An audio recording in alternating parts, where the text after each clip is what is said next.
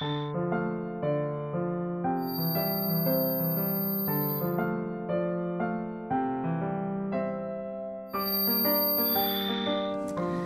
I'm, I'm Kerry Patterson, the Project Officer for Digitising Edwin Morgan Scrapbooks Project.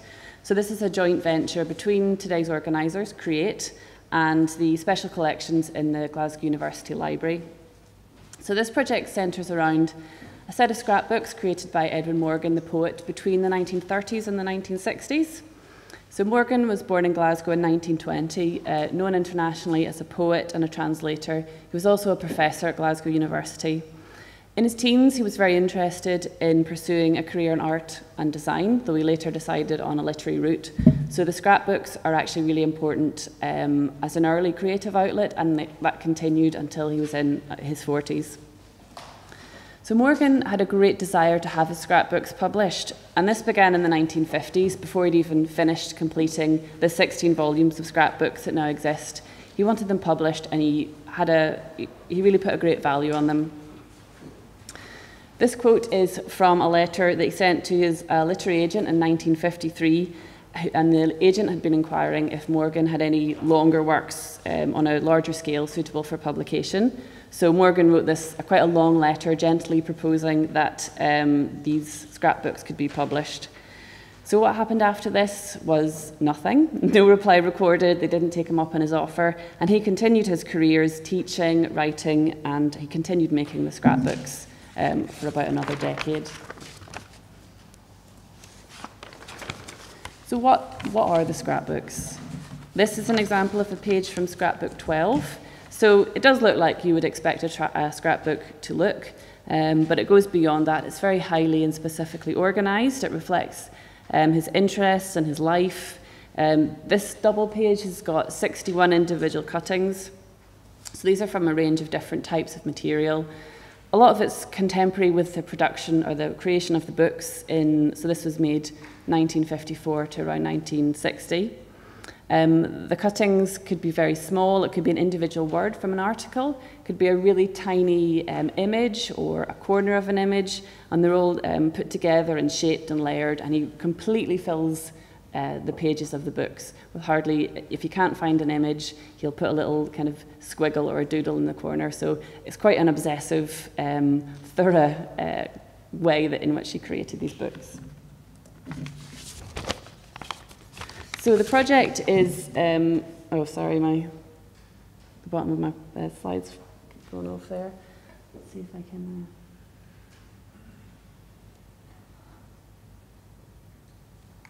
Uh, Sorry about that. Okay, so the project is uh, looking at how EU and UK copyright policy impact uh, the digitisation of the collections like the scrapbooks. So looking at what the costs are in clearing rights and um, how onerous the, the current requirements of diligent search are. So essentially it's really about how can we legally digitise this set of scrapbooks and other works like the scrapbooks. So moving forward from Morgan's first efforts in 1953, 35 years on to 1988. So this is a quote from a letter that Morgan wrote to his publisher, Michael Schmidt at Carcanet in 1988. So in which he's trying to pique his publisher's interest in um, publishing the books. So Morgan was by now a retired professor, established poet and a translator, and he had a long-standing relationship with his publisher. The scrapbooks actually, he didn't have them in his possession anymore because he gave them to special collections in 1980. But even in spite of that, he was still so determined to achieve publication. So, and I think this is really what the project is about, along with the academic outputs. It's about trying to do this thing that Morgan had been trying to achieve since 1953, which was publishing the scrapbooks. So this was the reply from his publisher, which is interested but cautious. And again, unfortunately, in this time, 1988, nothing came of it. You know, the, the publisher didn't take him up on the offer, so the scrapbooks remained unpublished. The note that he says looks particularly expensive there, which is certainly something that we've continued to discover. So a first step was made April uh, 2010. A Flickr set of 15 images was made available to celebrate Morgan's 90th birthday. So this was made available by uh, University of Glasgow Library, and Morgan's biographer James McGonigal supplied commentaries um, on the pages. These pages were uh, made available on a risk managed basis, so choosing pages which had quite abstracted images, ephemera, and Morgan's own artwork. So, this risk managed approach is really used quite widely by many institutions, but obviously, some organisations are more risk averse than others. But how can we make the scrapbooks available in a more widespread way? So, the main barriers for that would be the costs of colour reproduction and copyright costs. In 2016, um, reproduction costs, because we were able to uh, reproduce material online, those need not necessarily be an issue. But uh, the cost of right, rights clearance um, and those associated costs still remain. The crux, the crux of the issue with the scrapbook is really the vast number of creators and the vast number of works which are uncredited. okay. Right, uh, so just some figures about the scrapbooks. Over 16 volumes, there's 3,600 pages. There's an estimated 54,000 individual items and an estimated 72% of orphan works. So, again, apologies that my slides have gone slightly ski with. So there are two aspects to look at in terms of digitisation. Rights clearance for works that have known copyright holders and also diligent search uh, for works without co uh, known copyright holders. These are the orphan works.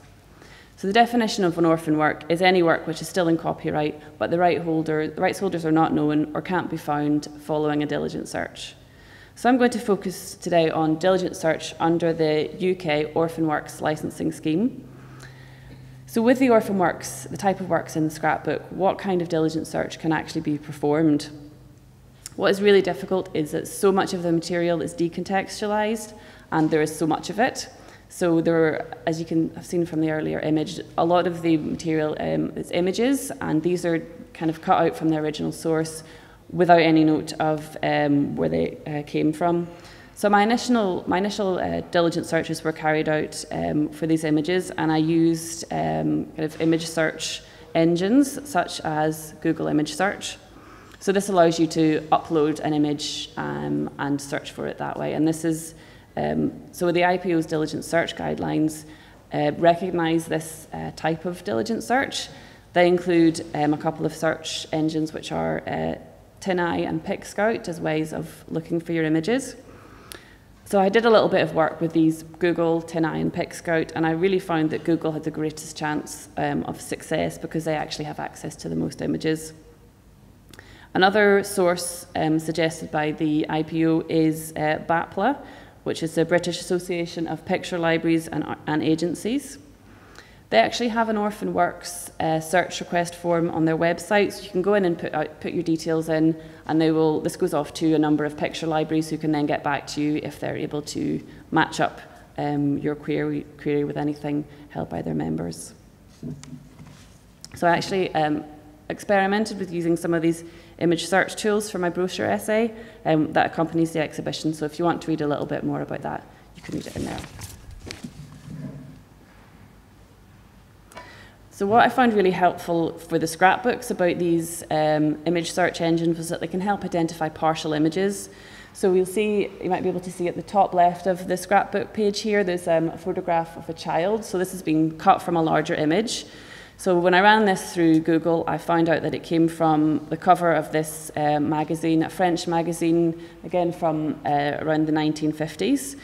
So this was a kind of, this was great. It kind of confirmed my suspicions that it was probably in copyright. It was by a significant photographer, professional.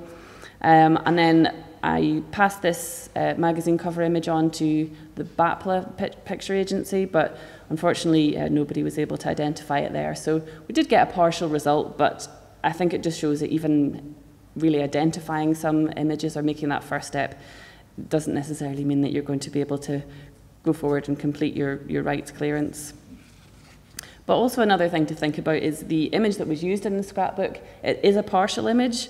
So even if we were able to get in contact with the photographer, would they be concerned about this small portion of their image being used in this way? And possibly not. Other um, contact I've had with um, some photographers as individuals and their estates have shown that they're actually uh, quite happy for images to be used in this project, though that's uh, certainly not universally the case, but it, it, can really depend on the individual. So this brings me on to the element of luck in versus diligent search. So this is a uh, an image, black and white portrait image of a boy, which comes from the scrapbook. So again, this sets up a bit of a red flag for me professionally, taken a photograph. It's from a glossy magazine, but there's absolutely no context uh, with it at all. So I did some Im image searches, didn't uh, have any luck, but then by sheer chance, um, managed to find on Twitter that somebody was using the same image as their avatar. So got, got in touch with them and found out that they had taken it from a book and it originally come from a magazine from the 1950s. So after a, um, it's a, a, French photographer called uh, Bernard uh, Poinceau. So I was able to get in touch with his son after some uh, emails in French using Google Translate and the help of a colleague. Um, and he, after some back and forth about, he was not sure if it actually was by his father. So once we'd sorted that out and he um, agreed that it was, he um, agreed that we could use it for free in the book, but we have to put a disclaimer because even though he was not kind of happy with how it appeared in the book, that it didn't represent his father's work very well, he was still quite happy to use it for free. So this was really an example of just sheer chance because I hadn't been able to find this out using any of the normal diligent search sources. You know, if I'd had access to a bunch of contemporary photography magazines, I might have found it, but that would really be going beyond what would be the reasonable bounds of diligent search. So I have made an Orphan Works um, application to the Orphan Works licensing scheme. So I picked five works uh, from the scrapbook, a poem, an original photographic work, magazine cutting, and two cartoons. So these are the, um, the times that, I've, uh, that were taken for the works. So the longest time, um, which is just over three and a half hours, is for a magazine that appears frequently um, in the scrapbooks.